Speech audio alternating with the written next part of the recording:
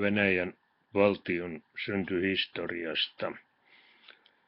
Venäjän katsotaan syntyneen vuonna 980 jälkeen ajanlaskumme alkua ja ensimmäinen venäjänkielinen tunnettu kirjoitus on niin sanottu Nestorin kroniikka, joka sijoittui jonnekin tonne nykyisen Kiovan alueelle ja siitä sitten Venäjä niin kuin siirtyi pohjoisemmaksi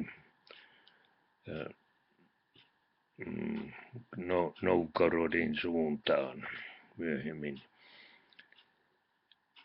Tämä oli siis ensimmäinen venäjänkielinen kirjoitus.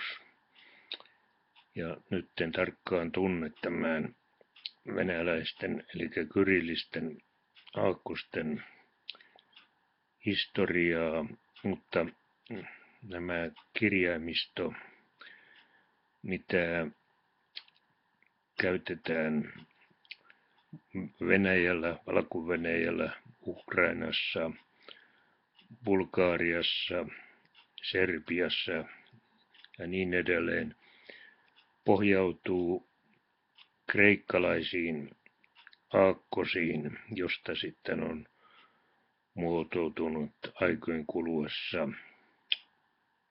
tämä nykymuotoinen muun muassa Venäjän aakkosto. Venäjän valtion eräänä perusteena pidetään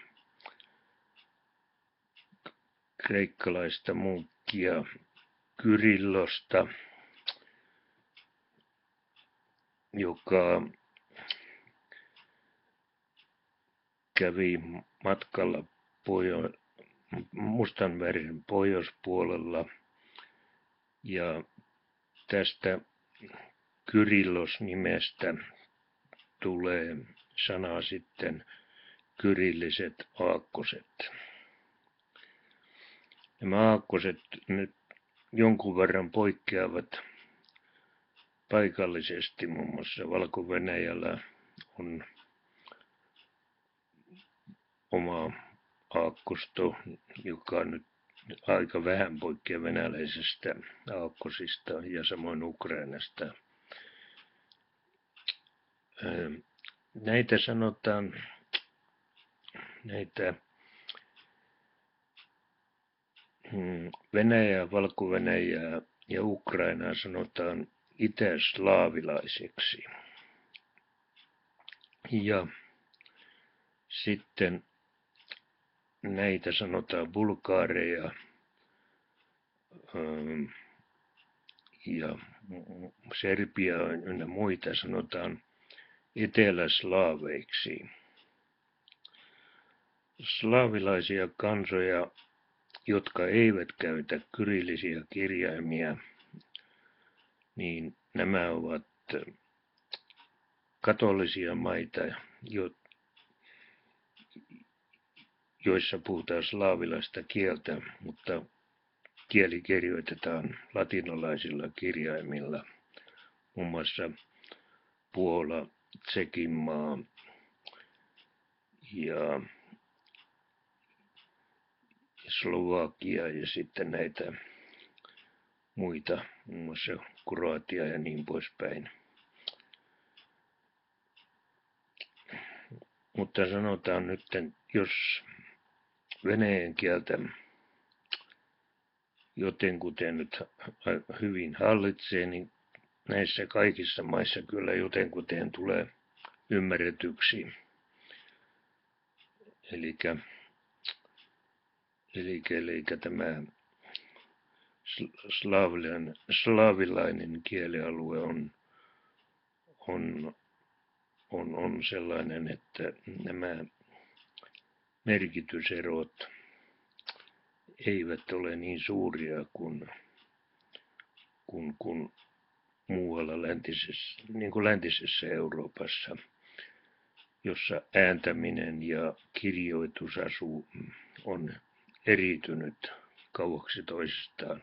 Esimerkkinä englannin kieli, joka kirjoitetaan ja lausutaan aivan eri tavalla.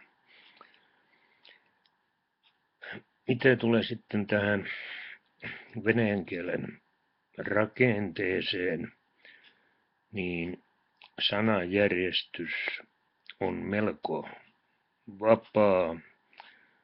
Siinä voi se, se vähän vaihtaa näitä sanan paikkoja, ei se ole niin kovin tarkkaa, niin tämä kieliopillinen puoli, mutta eräs erikoisuus venäjän kielessä on se, nämä oliko se kuusi vai seitsemän eri S-kirjainta, jossa on erilainen su, suhahdusääni.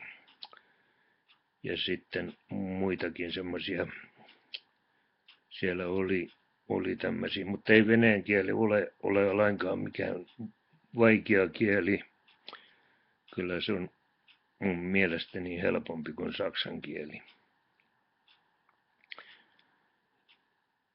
Tämä siis tästä Venäjän kielen historiasta ja Venäjän historiasta. Se on pitkä historia.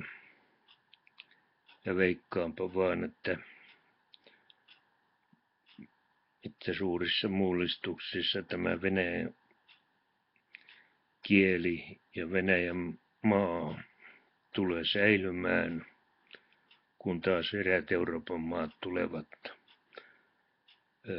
tuhoutumaan itse, itsestään.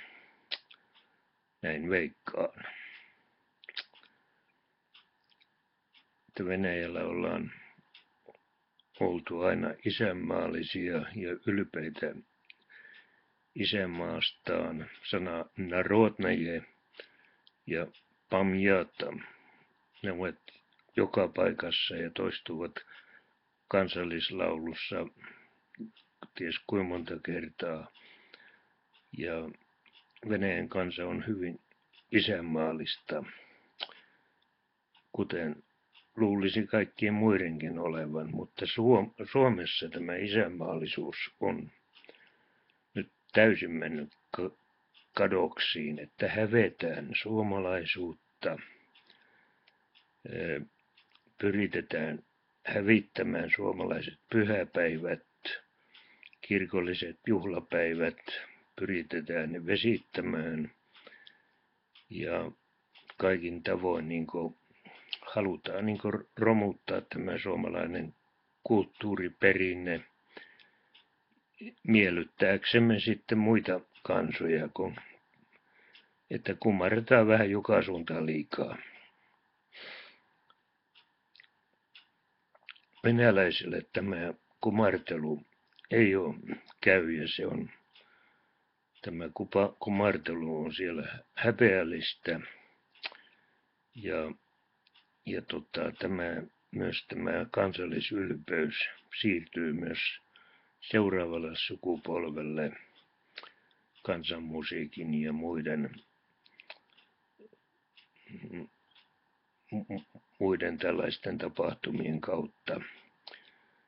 Ja esimerkiksi Kupanskin kasakkakuoro koostuu jäsenistä, jossa on lapsista vanhuksiin asti lauluääniä eri ikäisiltä, että se on niin tämmöinen tietynlainen yhtenäisyyskulttuuri eikä jaeta ihmisiä eri ikäryhmiin väenväkisin. Siellä on muitakin tämmöisiä hyviä musiikkikuoroja, muun muassa Piatniskia kuoro ja, ja ties kuinka monta muuta näitä on, mikä siirtää tätä kansallista perinnettä eteenpäin kansanmusiikin kerran että venäläinen kansanmusiikki on erittäin mukavaa kuunneltavaa ja se on tuommoinen, sopii aika hyvin suomalaisen korvaan molli, mollisävel mä kun, ä, anteeksi, kun ovat mollisävelmiä.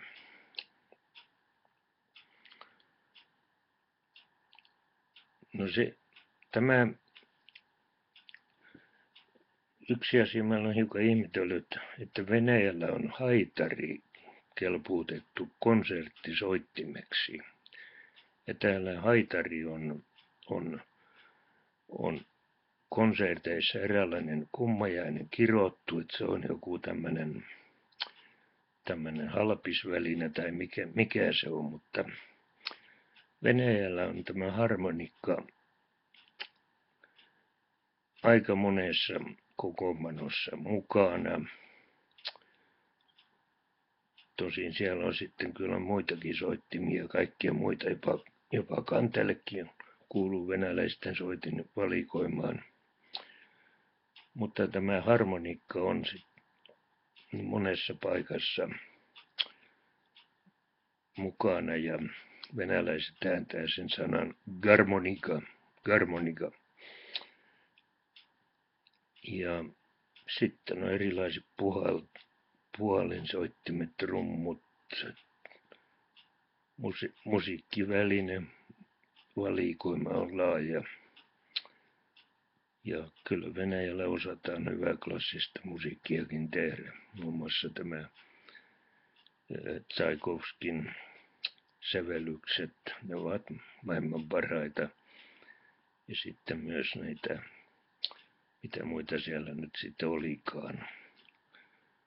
Että niitä oli hyvin paljon. Että venäläinen kulttuuri on hyvin, hyvin rikas.